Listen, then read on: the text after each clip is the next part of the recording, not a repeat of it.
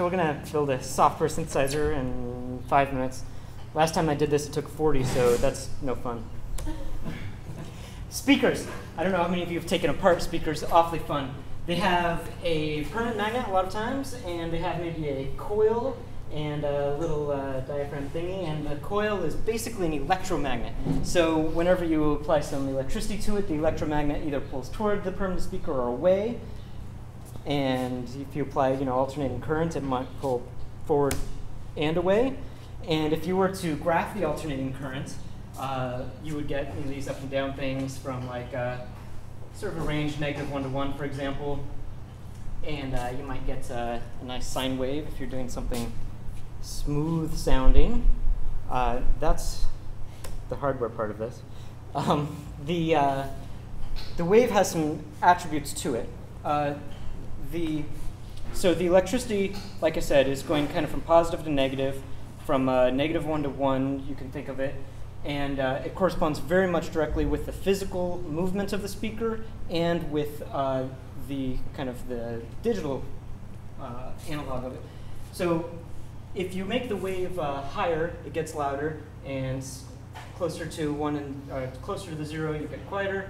And if you spread the wave out, you get a deeper pitch, and if you squeeze it together, you get a high pitch what we can do to make this digital is uh, you have your sound card, which converts from the actual electricity into uh, the inputs, but we slice this wave up into individual little pieces, which are called samples. Uh, the, uh, the width of these is how many samples you fit within a period of time is called the sample rate. So you might fit uh, well, a bunch of those. for example, if you were to splice it into 44,100 of those slices of your wave in one second, then that's about what a CD does. Uh, you can see some other common sample rates. Uh, the other direction that you're splicing it is up and down, which is called the uh, bit depth. You're always going to be splicing it so that you have numbers that range from negative 1 to 1, but you might have to uh, use a certain number of bits in your machine, and that'll uh, decrease the number of slices you do up and down. So all the 8-bit video games would be 0 to 255, so to go negative, it'd be like negative 127 to 127, give or take. Uh, CDs are 16-bit, so that slices it into 65,000 slices. DVD uh, audio is 24-bit.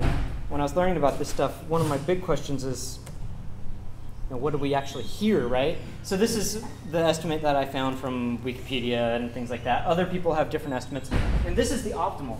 As you uh, get old, you, uh, you can't hear as, uh, as high frequencies. That 40,000 slices uh, in time, uh, because a single wave kind of has to go up and down, that corresponds to being able to hear a sound that is uh, 20 hertz, is what they say, 20 cycles a second uh, or 20,000, sorry, 20,000 cycles a second, very, very high pitched. Uh, once you become an adult, you can't really hear even that high pitched. Uh, and then 21 bit is kind of the optimal for you to discern different volume levels. So now we get to software.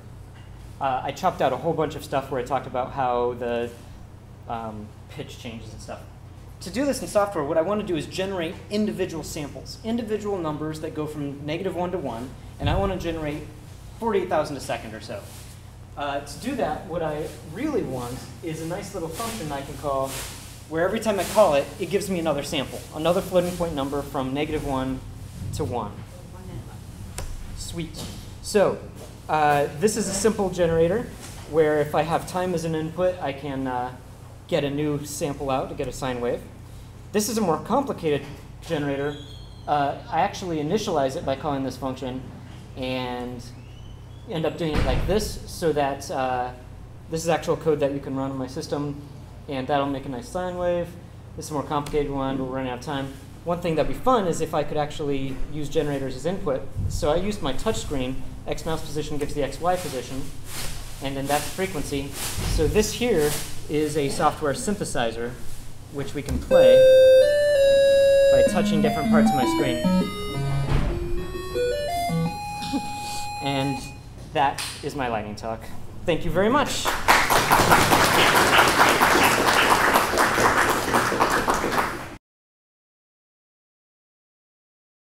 Okay, so my name's Todd Anderson, and I want to talk about language learning in the digital age. I mean, the time when we've got uh, smartphones and tablets and computers and uh, lots more resources to work with.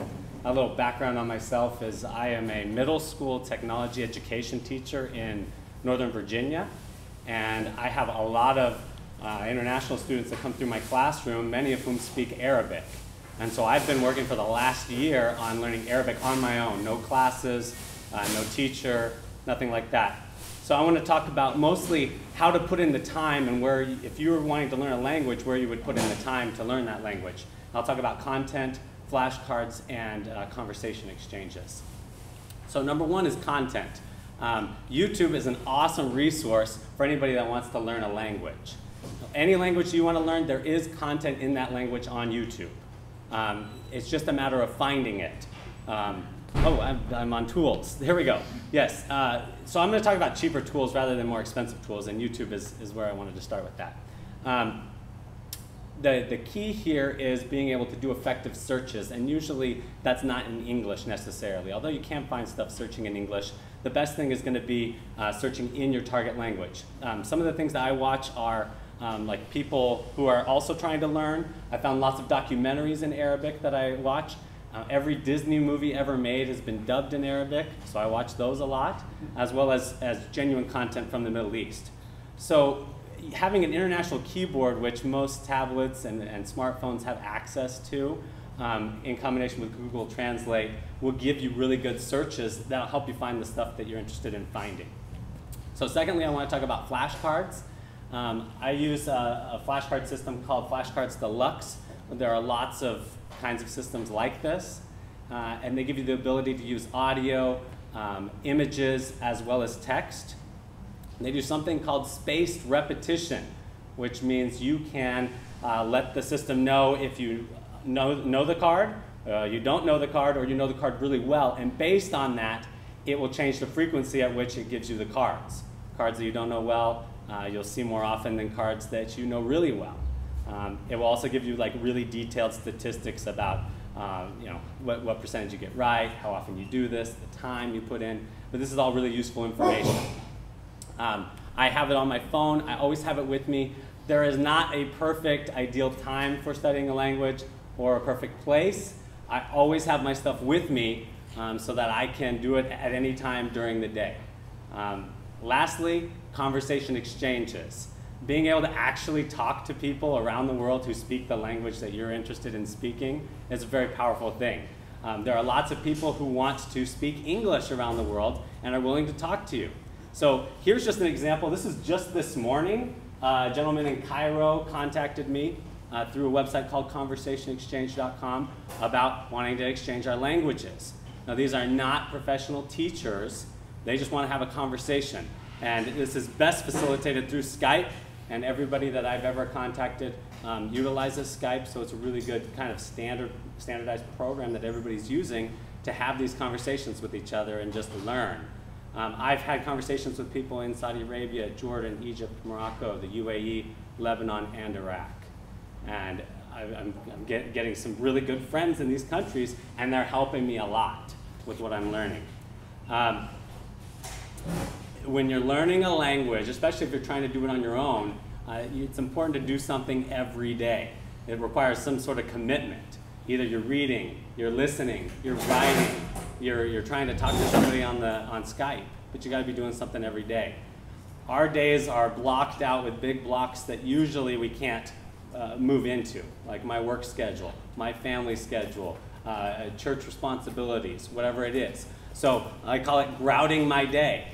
I fill in wherever I can, and this requires some sort of sacrifice. There's always going to be some sort of sacrifice, whether it's waking up early or all my commute time I listen to Arabic. Um, the evenings after the kids go to bed, I'm doing Arabic. So it does require some sort of sacrifice to do this. I highly recommend that if you don't speak a second language, that you try. That you put in the effort. You don't have to take a class. In fact, I'm, I'm glad I haven't invested time and, and money in a class because I don't think, I think that I would not move at the pace that the teacher would probably require.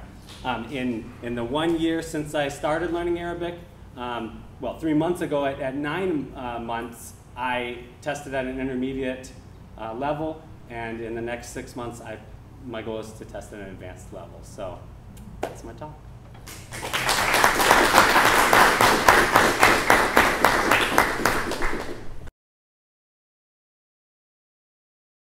Okay, hello, sorry for the delay. My name is Andrew, and I'm going to be talking about ocean sampling. Um, I want to talk about specifically ocean sampling in the Pacific. Um, there's, a, there's a region of the Pacific Ocean called the North Pacific Gyre, and it's halfway between Hawaii and California. And it's, the structure of that area is essentially a whirlpool where um, a lot of debris, particularly plastic, is being collected. And there are you know, numerous scientists that are starting to look at and study the plastics that are being collected there because they are being photodegraded by the sun and the wave action is breaking them into small particles. And those particles have a lot of surface area, so they, um, they actually bind with um, organic compounds. And plastics are known to do that. And, and a lot of pesticides and such are organic in nature, and they bind to these plastic molecules. So um, I'm just going to show you a couple slides here. Uh, one of the, the, the, primary way that people are collecting these plastic components and for scientific study, did it open some kind of, oh, I better close that. Um, they are using something called a Manta trawl, and I don't think you can see this because I don't know how to open this picture. But basically, it is a device that has a mouth and it drags a net behind it. And they pull the net in the ocean, and the netting is about 330 micron mesh, so it's about a third of a millimeter. And they're basically pulling that for a while, pulling out the plastics, and subjecting those plastics to a, spec a spectrometer and trying to analyze the types of organic compounds that are adhering to these plastics. So you can, um, there are several websites you can go to to, um, to learn about these chemicals. And What's that? Oh, I haven't, um, I guess I haven't shown you anything yet, but there's nothing to see, really. I don't know, Katie, can you, I just want to show them this, yeah. this PDF file. Just so. slide it over to the right hand. Oh, I see. Okay. Like this? Yes, like that. Oh, okay. So that's good. So basically, um, come on, we can do it. I lost the mouse. Oh, Katie, I might need help. It seems to move. I don't know, Katie. I can't do it.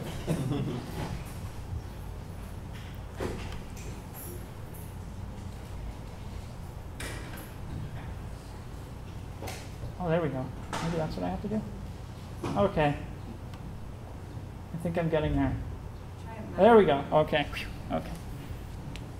So uh, I want to talk briefly about this paper and uh, basically, scientists are studying these plastics. And there is a, t- I can, I'd be happy to refer you to this paper if you're curious, but there is a table in the paper, and we won't go into it in much detail, I guess. But basically, what they're saying is they've identified a set of samples that they've collected from the Pacific.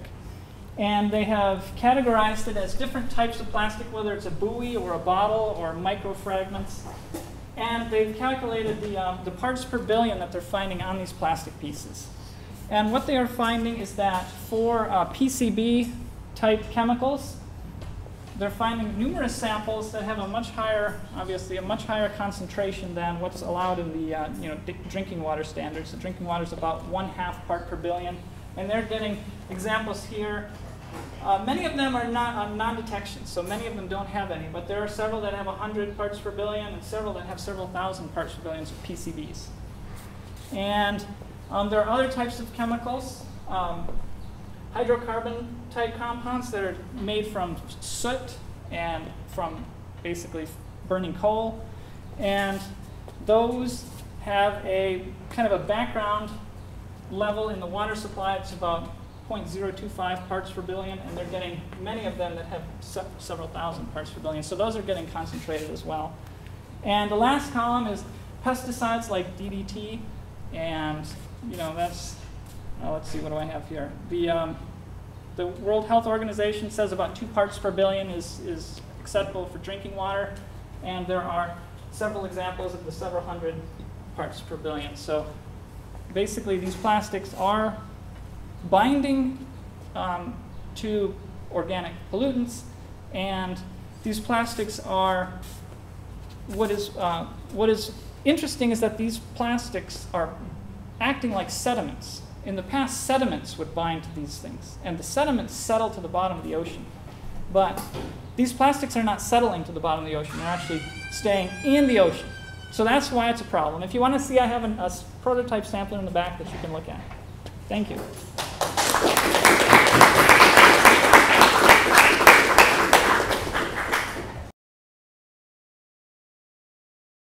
Uh, so I'm going to be talking briefly about cycling from DC to Pittsburgh on the C&O Canal and Great Allegheny Passage trails. Uh, I did this ride uh, this year uh, for the first time in April, um, and I hadn't even heard about it until uh, just a few months uh, before that. And uh, I'd always wanted to do a long distance bike trip, but I'd always figured it was the sort of thing that meant you'd be on the side of a highway, dodging traffic the whole time, and I didn't like the idea of that. But uh, this trail, or these two trails, um, it's possible to do uh, the entire 325 mile distance um, almost entirely uh, off-road on uh, unpaved trails. Uh, it's a very it's a very pleasant trip. Um, there are a few stretches where there's detours where you have to go on the side of a highway, but that constitutes maybe seven or eight of the total miles. Um, so.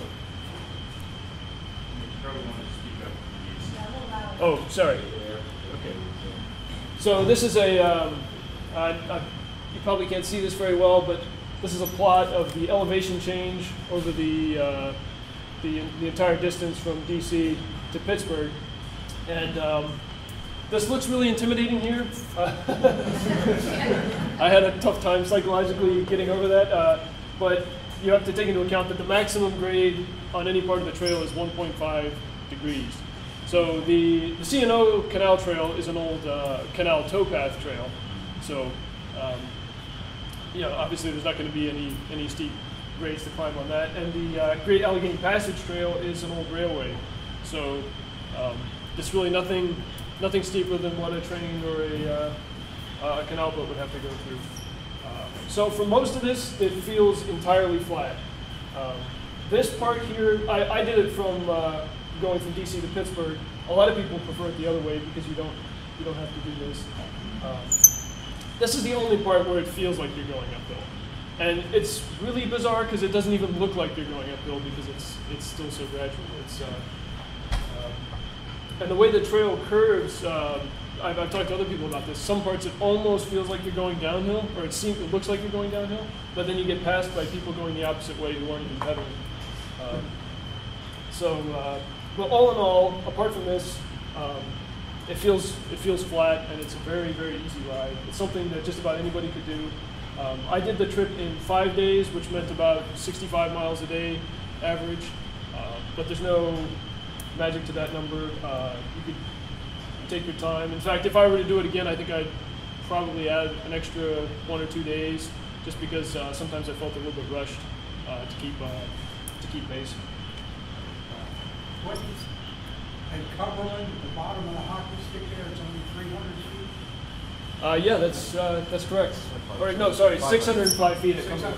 Yeah, and then uh, the top here, the Eastern Continental Divide is uh, 2,392 feet. So this is where it begins. You can pick up the uh, the C&O Canal in uh, Georgetown, uh, right under the Key Bridge. Um, you can. I just took the metro uh, to Rosslyn with my bike and walked over the bridge and uh, started from there. Um, this is uh, heading towards Great Falls in the C&O Canal.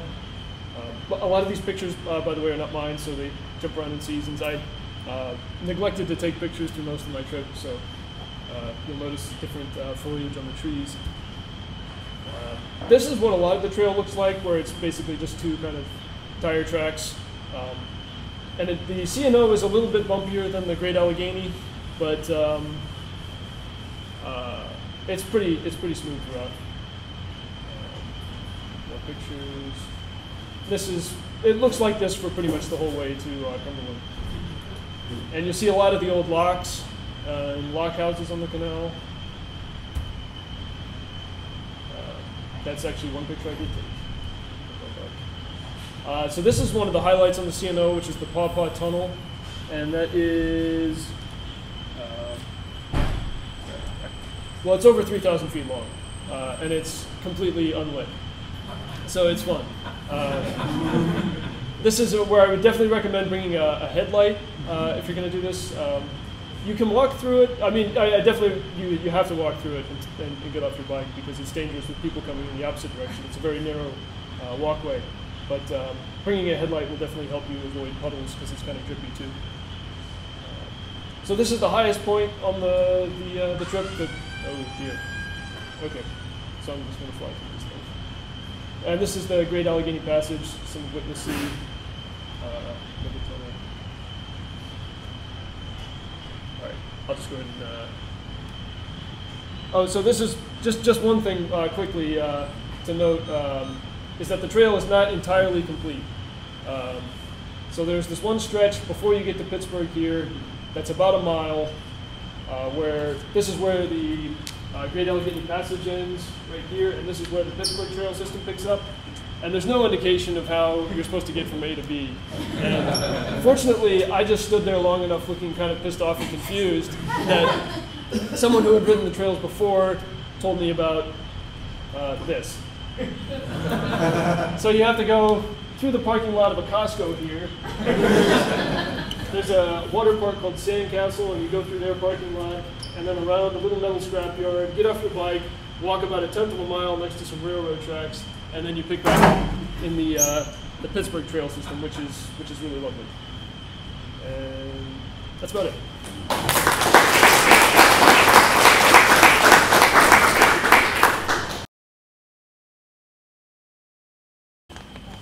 Hi, my name is Bruce Resco. My amateur call sign is N4TCW, and my talk is on amateur radio. And this thing could probably take about two hours. I'm going to go real quick through it.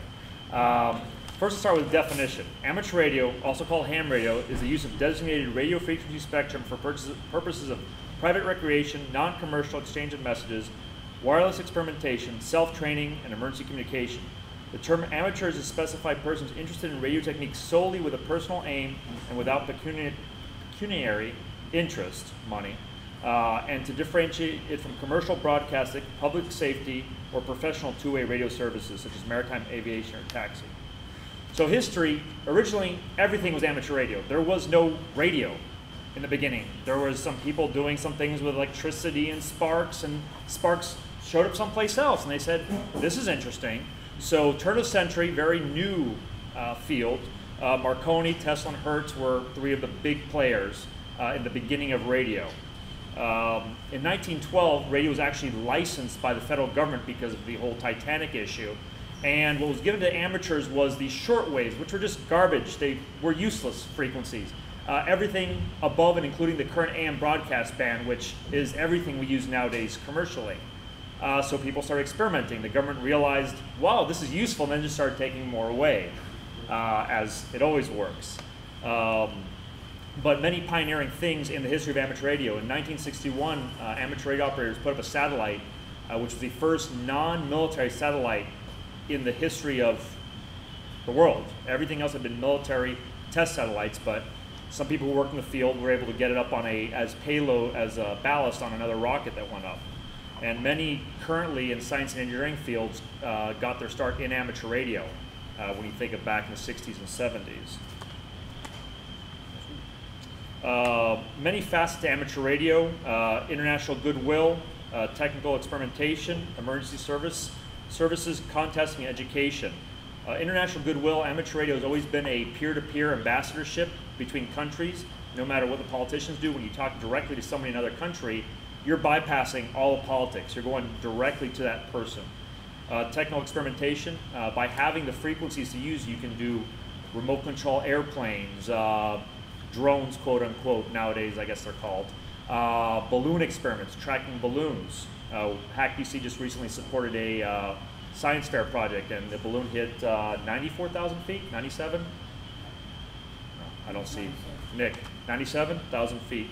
Uh, emergency service, which is my main interest, uh, when there's a disaster, normal communications go down. Uh, most recently in Haiti and Katrina, and really because of the simpler, less infrastructure-based systems of amateur radio, they're able to respond much more quickly while the more infrastructure-heavy systems don't work anymore. Uh, contesting, some people try to see how many people they can talk to, so uh, it's like a game you collect points, basically, and you get awards. And education, uh, used a lot for outreach for children, since you have a combination of uh, science, electronics, geography, social studies, many different facets you can roll into the classroom. Uh, modern perception of amateur radio. It's a bunch of old farts sitting in their basement with big radios that make a, and I see somebody pointing in the back, uh, with old equipment that just uses a lot of power, makes a lot of noise. Well, modern equipment, you have a modern handheld with uh, internet linking. You can talk locally with this, and with internet linking, you can talk all over the world. And with a radio like this, you can talk all over the world directly with no infrastructure. So cell sites, repeaters, fiber optic cables, don't matter. With this radio right here, an antenna, you can literally talk all over the world. And every day I talk up and down the East Coast out of my car with this radio. Uh, and some of people think of just Morse code and maybe voice. You have digital modes like high-speed data on the microwave bands. You have full scan, uh, fast scan television, which is just like broadcast TV. Uh, slow scan television, which fits in a normal voice channel. Uh, you have automatic message forwarding systems, um, IP link systems where you can log into remote radio and use it.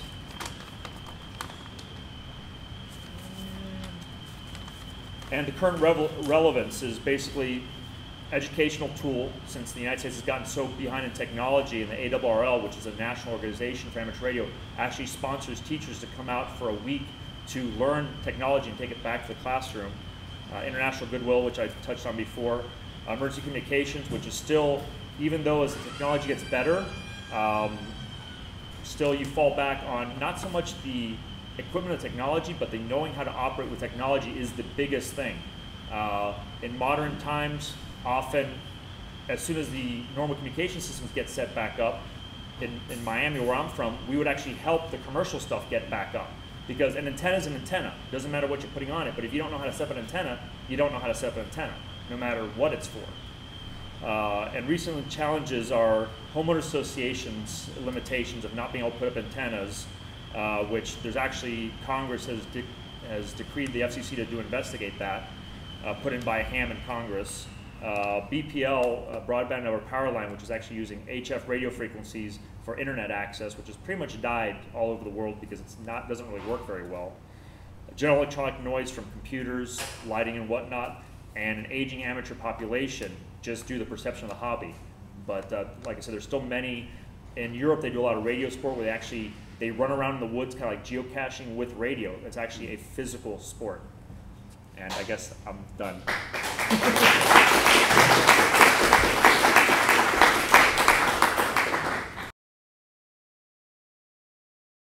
Uh, so I'm Jeremy Pesner. I'm a graduate student at Georgetown University's Communication, Culture, and Technology program. And so uh, back in the early fall of last year, when I was starting my program, I got I was I came to the school in order to focus on technology policy among a, a lot of other things. It's a very interdisciplinary program where a lot of different things come together. And early on, I began to have the suspicion that the way that policy was being made wasn't necessarily taking everything into account, was not using all the factors it needed to, was not getting all the sorts of input that it needed, not listening to all the stakeholders that it needed. And wouldn't you know it, a little something called SOPA came along and proved me right. So uh, my, the, the class I took called Grounded Theory uh, is a very sort of open and uh, exploratory sort of methodology, which presumes no overlying theory with which we have to use. We just go out there, grab the data, and develop a theory out of that. So SOPA was perfectly timed with the beginning of my class, and I chose to look into that. The idea is that we need to explore how the policy around this interesting little act was made who was considered, who was not. How did these people understand these sort of internet forces that they were playing with? Who really should have been at the table for these decisions to? What does this mean for the future of internet authority? It's a very tough question. So, uh, for those of you, let me just give you guys a quick overview of these bills. For those of you who may not be quite as familiar with it, the Stop Online Piracy Act, the Protect IP Act, were versions of the same bill being considered in the House and Senate respectively. Uh, essentially, they uh, would have given the government and other certain bodies of the government broad authority to shut down links to foreign sites, be it either the domain name through the DNS, uh, search engine indexing, and PayPal funding, things of that nature. Anything that it deemed to have pirated content. Uh, the bills were modified and changed frequently, so certain provisions were uh, sometimes there and some were taken out. It was a constantly changing process, but it culminated on January 18th, 2012, in an event that has become to known as Black Wednesday, in which Wikipedia, Reddit, and over 100,000 other sites either blacked out their content entirely or else put very prominent messages up there saying, uh, warning people against the dangers of these bills and encouraging them to call their congressmen. Long story short, it worked. So, uh, I'm, because this is a short talk, I'm going to sort of run through this part here. The idea behind grounded theory is that we can sort of develop codes or concepts out of different data points and samples. One that I think is particularly telling is a small sample from these uh, debates that occurred around SOPA early on, or excuse me, back in uh, December. Uh, I'm just going to read through here. What, what Representative Watt was basically saying here is that he doesn't believe what the cybersecurity experts are telling him. Rep Representative says, we've got experts, we've got a number of papers from some very qualified people who say this hurts cybersecurity. Representative Watts says, I don't believe that. And doesn't, you know, and Representative Chaffetz tries to convince him, but basically right after this, they move on.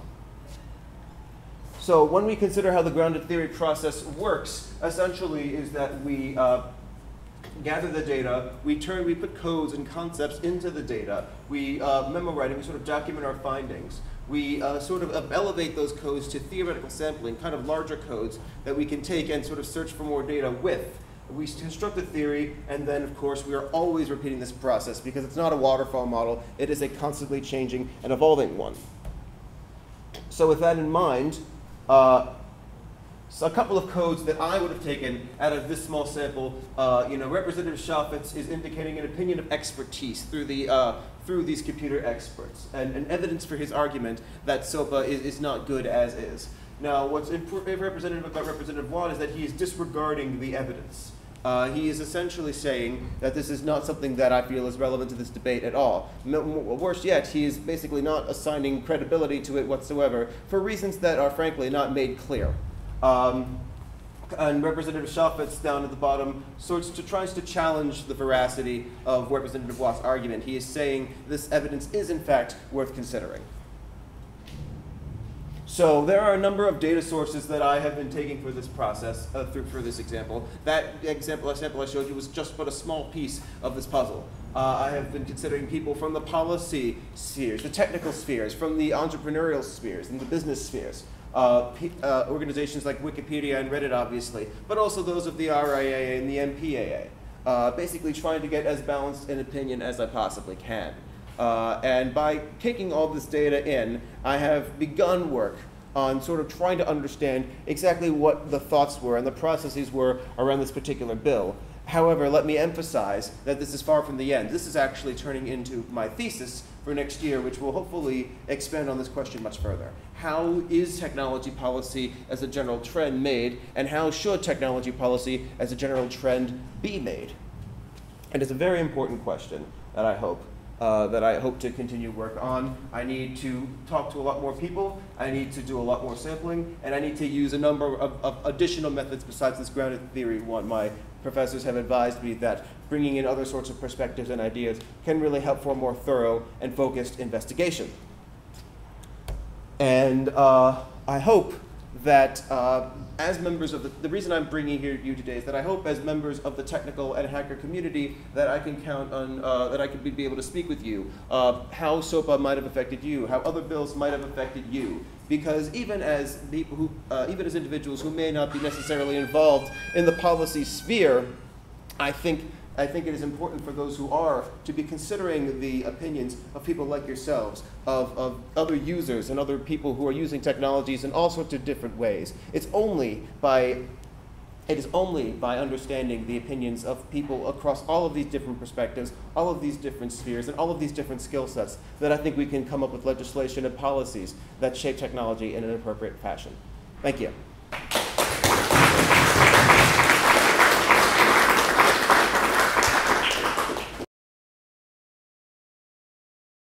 Okay, uh, thanks. I'm Alden Hart, um, and I've been working on um, uh, CNC motion controllers. I want to give you an update on the projects. A number of you have seen them. Um, this is a, uh, these are projects that Riley Porter and I have been working on for the last two years or so. Um, I want to cover uh, tech, uh, some community, and some plans on these things.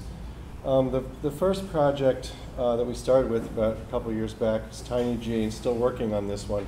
Um, the goal here is to bring industrial grade motion control down to hobby level in terms of cost and equipment, and uh, also to make it really scalable. So you could do many, many, many axes, not just three axes on a machine. So that's what Tiny G is for, and that's why it's got RS-485 on it and so forth. Most of the work, 99% of the work, has been in the software. Um, over the last two years, just a ton of work. Uh, it's GPL code base in C, does uh, six-axis motion control. Um, an interesting thing is it does third-order uh, jerk-controlled acceleration planning, which is um, industrial kinds of things. And you know, EMC and Mach and Grbl and other codes don't do that. They do constant um, acceleration. Um, we put a JSON interface on it recently, which is, makes it really interesting to control. Um, the hardware is very basic. We love these Texas Instruments drivers. Uh, it's using an Atmel X Mega, and it's got some neat uh, green LEDs when the thing moves. So uh, Grbl is another project um, that does, um, in fact, we started with Grbl and forked and, and diverged about two years ago. But uh, Grbl has got a huge following. Uh, it's, a, it's, a, very simple three-axis motion controller. So in order to participate in that project, we took um, three quarters of the motion of the motor section and just made it plug and play on top of an Arduino. So this is a shield that will do three axes on an Arduino. Um, it's got the same exact hardware on it. Um, and uh, in order to support this, we've started, we've uh, laid out some community sites. So we host these various sites. The, the top one is for support questions. Um, we've got uh, detailed development. Um, we have a user manual basically out on the wiki, and then the GitHub for, both for both of the projects um, is a bunch of issues in the, in the code base. Um, and we participate in the Grbl side and also at Shapeoko, which I'll talk about. Um, it, a lot of the work went into the code and into the hardware, but so much of it really is about in managing and working through all the community side. I'm on this every day. I'm answering questions. Um, there, I've met a lot of people um, all over the world. We've got people working on a project. So I didn't really didn't anticipate that this was going to be as big a deal, but it's turned out to be as at least as big as the code and the tech itself.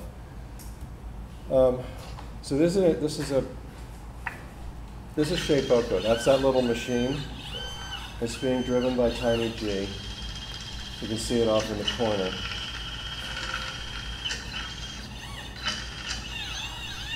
Now, about 300 of these are going to ship on Monday. Um, we're the, um, we source the, the Grbl shields that the, the, the, full kits are using for this. Um, and um, so we've sold a lot of Grbl shields, we've sold a lot of Tiny Gs. That's, yeah, you can see the board there.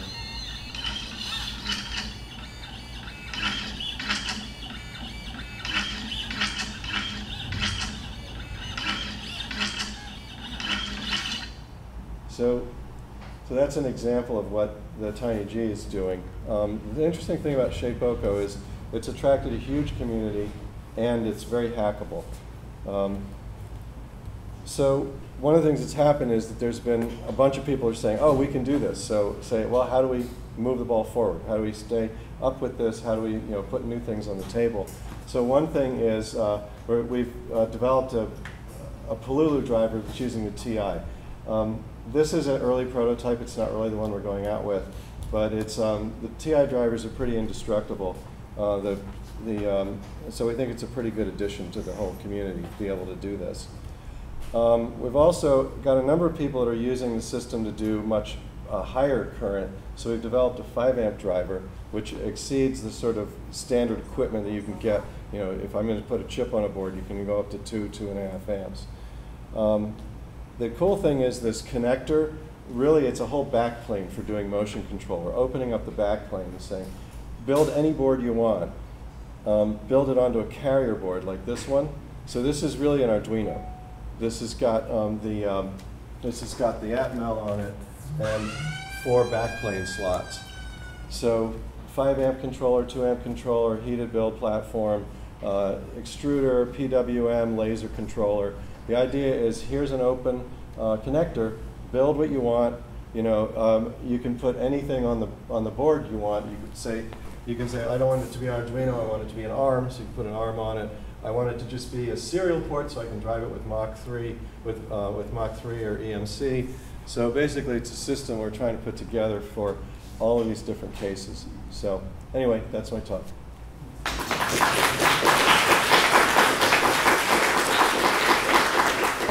I, I brought some of the boards in, which, you know, uh, when we're done, I can, you know, pass them around. Uh, they're not all built. That one's obviously just a model. All right, so yes, this is, this is an impromptu talk, uh, and I'm motivated by just some events of the last few weeks even that have raised this question. So a lot of us became interested in hacking in the hacker community because of early cyberpunk literature, William Gibson, Neal Stephenson, Philip K. Dick, Stanislaw Lem, etc. And, and that was projecting into a future. But the question is, now has potentially some elements of that future arrived, and are we accelerating more into that future. And I would say the events of the last few years, even the last few months, with the Great Recession, uh, revelations about Occupy, the Arab Spring, make us, make us take this question seriously. Slavoj Žižek, this uh, Slovenian philosopher, says, Are we living in an age where we recognize things are catastrophic but not serious? So that there's catastrophic things happening around us with mass surveillance, the destruction of the environment, but even the recognition of that becomes sort of a cute joke. And so this is what I want to avoid is the observation that we're living in a cyberpunk dystopia comes off as, isn't that cute? I like cyberpunk. But do we have a language for actually taking that seriously and doing something about it? And that's the question. I want to, to this no longer to be a cliche, but to consider are we part of the resistance of the cyberpunk world? Now, the cyberpunk has a few different characteristics. First, we talked about massive numbers of people on the margins of society. There was a study a few weeks ago with the Department of Labor said that 50% of the people in the United States are either near poverty or in poverty, which means they essentially have no assets at all, and they're living on the total margins of society. Um, and, that's, and we're seeing that now with 10 cities and other things around the country. Second, corporate power, totally untrammeled. And I think that that has been visualized more than ever by the financial crisis of 2008, with nobody going to jail, with, with sort of a public recognition that that was a massive crime, but no seeming sanction, no functions in the system to deal with that. Seems to be total corporate impunity. And we could go on examples. And third, the key thing in cyberpunk is usually there's a small elite group, technically sophisticated people who want to come together, who are working on the margins of society and are offering some form of resistance. And that could be seen as Occupy, or that could be seen as the hackerspace community, or other communities that are coming together to try to build some humanity out of an atomized, corporate controlled existence. Now, I just want to talk about a few stories in the last few weeks that I think have brought this into collection. First, there was a Wired story about two months ago that was very well publicized about a massive facility that's being built in Utah that is storing all, uh, all email communications and all telephone calls. This is the premise, using uh, Israeli, uh, Israeli-made technology to, to sap all communications, essentially, that go through any form of system. And they're saying that's according to the Fourth Amendment because as long as they don't listen to them, uh, then it's not violating U.S. citizens' rights. But nobody seems to take it seriously that they're not actually listening to these communications. Because how do they know whether it's a foreign national unless they listen to it? The idea is they can spy on foreign nationals, but how do you know if you don't listen to the call? Second is these, there are two major reports in the New York Times that just came out. First, uh, just last week, there was a report that says the Stuxnet virus that went into Iran was actually engineered by the United States in conjunction with Israeli intelligence, which is a new form of warfare. It's not a declared war, it's a virus destroying a physical facility. We've never seen that before. Second, we have the flame virus, which is now seen to be, which is now a new virus that was discovered by Kaspersky uh, technology in Russia, 20 times the sophistication of the Stuxnet virus, but it's actually being used for surveillance. that it's conceivable now that every single person on, on their computer, especially if they're using Windows, has a virus that could be listening to ambient noise, listening to, uh, using their webcam. It's possible that this is ubiquitous. And the idea that these viruses are state controlled means that that may be the future we're already living in. And Flame has been around for five years. It's possible that we've been living in there. The Middle East is already definitely living into, under this cyberpunk dystopia, but we don't know if it's the US. Also, there was a New York Times story that said Obama, the presidency, is now individually deciding whether they can kill American citizens and, and people overseas in a kill list, which is something that seems to be extra constitutional but is, is going forward. Also, we have Anonymous, you know, that is being treated as a terrorist movement, and it, they're using the, the, the structure of terrorism to go against a group that claims that it's doing uh, free speech resistance. Same thing with WikiLeaks, Julian Assange, Bradley Manning, who's supposedly being tortured, and WikiLeaks, which is Interpol is going after Julian Assange just for, for journalism activities in like a militaristic way. Uh, and then the Arab Spring, now the resistance. What can we do? The Arab Spring is, is kind of showing us a model, and that has now been interpreted into the Occupy movement in the United States, which is interestingly enough directly tied to some of the Stephenson essay about there's a there's a notion of one of the books where the people congregate on a bridge to fight back, reclaim public space, and use their technological knowledge to break out of the, the cyberpunk dystopia. Um, and then, but they're being fought with drone warfare and police violence. So the, my final question is just, does the hackerspace, is the hackerspace an institution that should be tied to uh, the resistance to the cyberpunk dystopia? Do we have to start to make moral choices on our own about how we engage with this, this, this world? Uh, and I think, and one thing I'd finally like to say is I think Pro- HacDC's Project Byzantium is probably one of the greatest examples of the cyberpunk ethic in practice. And we are privileged to be part of an institution that's doing it. The question is, can we, especially when we are in sort of the belly of the beast